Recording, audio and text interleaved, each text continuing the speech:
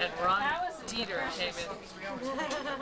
Oh, okay, well, it's before you get to White Lake. White Lake Oh, have you all ordered? No?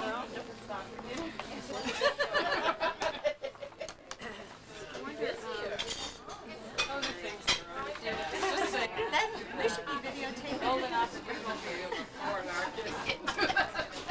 It's the only chance that I'm gonna You drive your family crazy with like that? No, because, um, well, like my dog, Now I, um, I'm having spring rolls. You're having spring rolls? but they fit. That's it.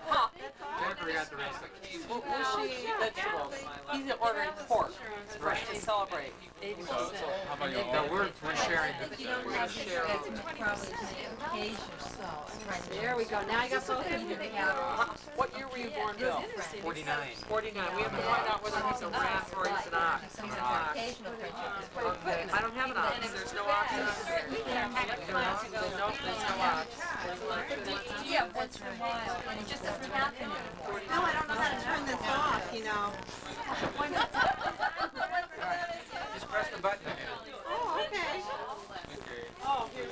Don't go too fast. Go on me. Bill Reeve was born in the year of the buffalo. It says, a born leader, you inspire confidence from all around you. You are conservative, methodical, and good with your hands. Guard against being chauvinistic and always demanding in your own way. The buffalo would be successful as a skilled surgeon, general, or hairdresser.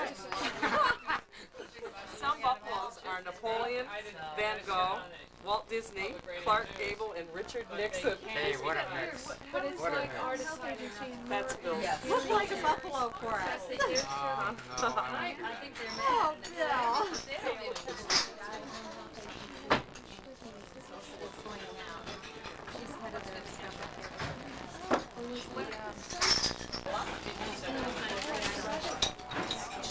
got a job in small. I'm not enough. You know, I mean, certainly there's, we've got limited resources and we have to be good stewards of those resources and use them appropriately. But, uh, you know, it's not the mindset we have unlimited money, for sure, but Bill seems to have been around forever. It really seems appropriate to give him this bouquet of everlasting. Wow. uh, uh, taken for a hospice that we did in Manchester.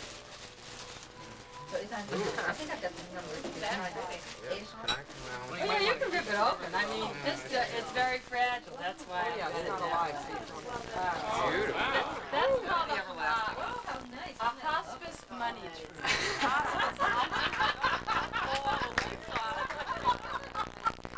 Oh, dear. And then also, this is something that every household needs. Seacoast Hospice Cup. No? Oh. oh. Couldn't be, couldn't be, I was just kidding. Did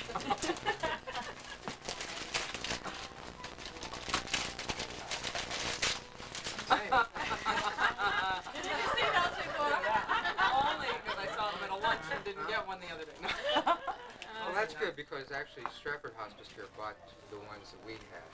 So this will be mine. Oh, That's fine. It'll go right next to my one that says, life's a bitch, then you die. All right. Well, for this uh, special occasion, I also thought I'd uh, come up with a little poem. Here's to Bill. He's quite a guy. We'll sing his praises to the sky. He's a leader who's been really swell, and we thank him for a job done well. Hospice in New Hampshire is stronger because of his concern. Because of his involvement, it's been an upward turn. His own hospice has been a model role as he tackled that job, heart and soul. He has helped so many of us with wisdom and tact. He's one of the best, and that's a fact. Like the Sultan with his harem. We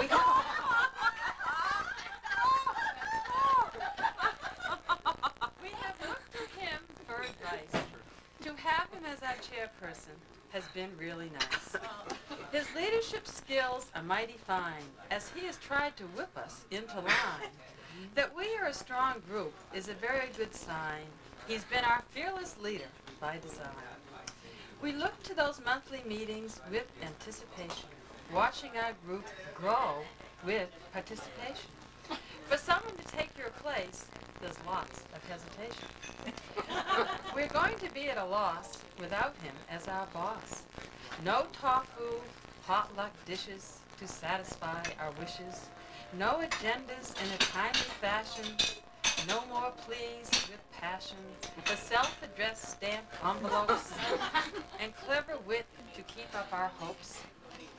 He patiently leads us to come to a consensus, and it is all done without fanfare and fuss, bringing out the best in us. No one can really fill your shoes. You're one person we really hate to lose. Don't forget us, Bill. We'll probably hound you for years. Let's hope our new chairperson, whoever she is, isn't reduced to tears. So thanks and three cheers for all you've done. You're one in a million under the sun, and we've had a lot of fun. Oh me, oh my, how time does fly.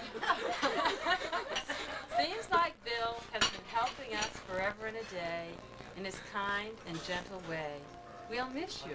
What more can I say?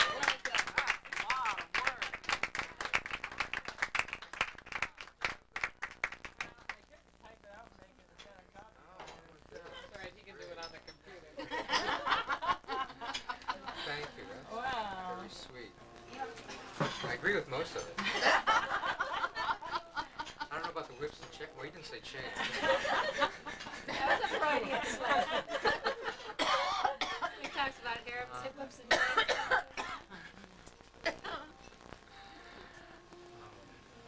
Beginning to think that the reason there is so much hustle and bustle at the holiday season is that people are trying to cram a whole year's worth of being nice to others and giving of themselves into two or three weeks.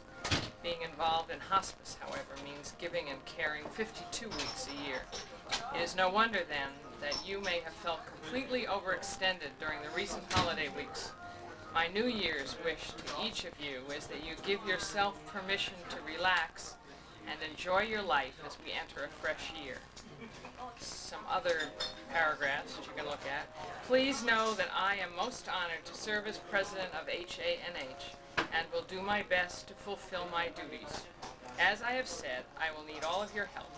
May you have a happy and bountiful year. It's a nice beginning.